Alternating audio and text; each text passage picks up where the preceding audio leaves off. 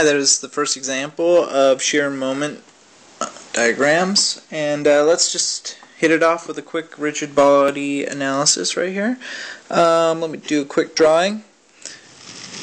Draw this, and what you'll see is you'll have AY, or AY and uh, just I'm going to throw it out there since there's nothing resisting it. AX is equal to 0. Nothing's resisting it. But you still need BY.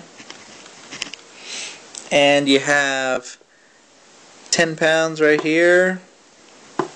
You have 5 pounds right here. You have 20 pounds real close over here.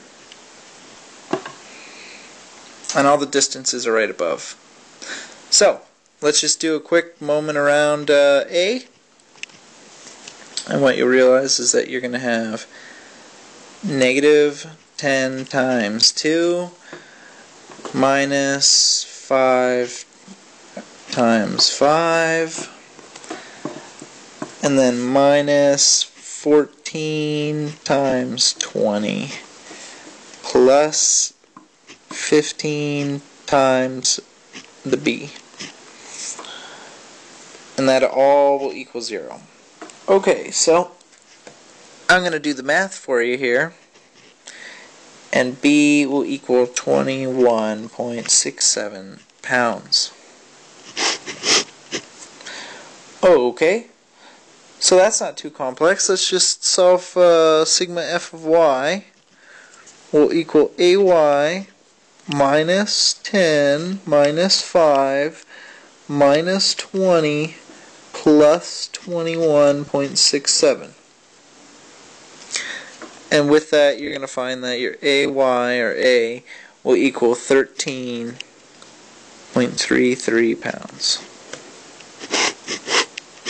Fairly simple. Okay, so let's just rock right into the uh, right into the diagrams. Something along those lines right here. And what you're going to find is that, first off, you we, we're just going to read it like a book, like we did before, right? So it's going to start off at, I don't know, 13.33. That's the force at A, right?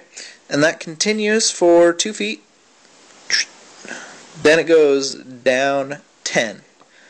So now it's down to 3 feet 3.33 feet. And then it goes for three more feet to the side till here, at which point it goes down 5. So it actually goes down into the negative.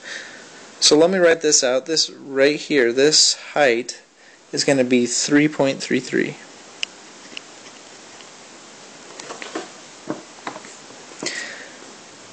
And this is going to be negative 1.67 pounds.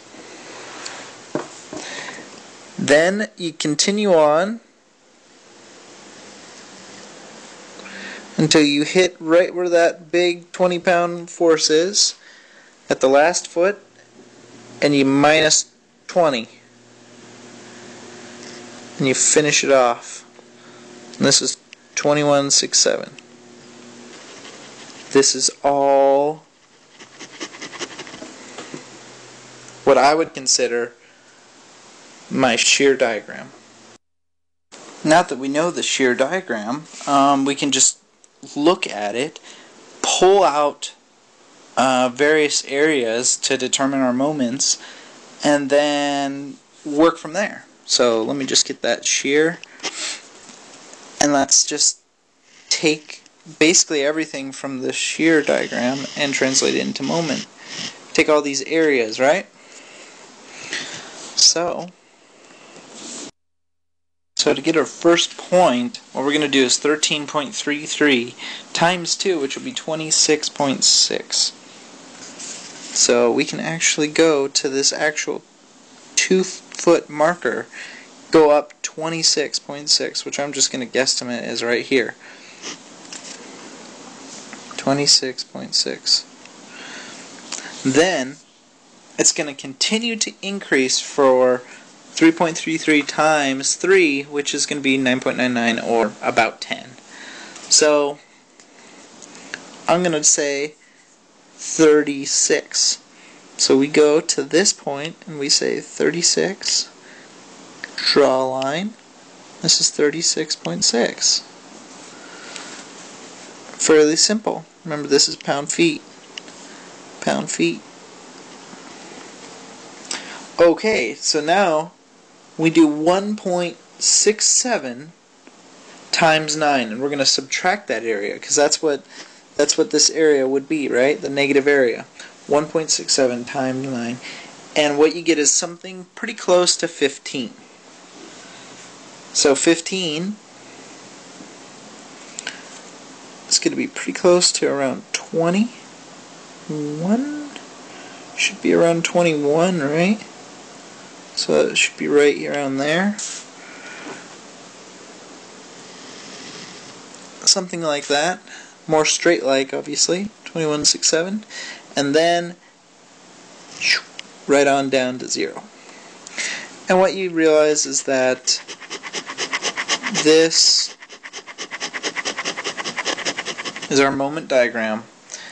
And I know it's kind of uh, tricky to figure it out at first, but uh, you'll find that uh, it, it will become second nature to you and almost an easier alternative. So, and right here is going to be our peak moment. And if you were considering a, a design, you might want to put an extra plate there for extra rigidity or whatnot. So.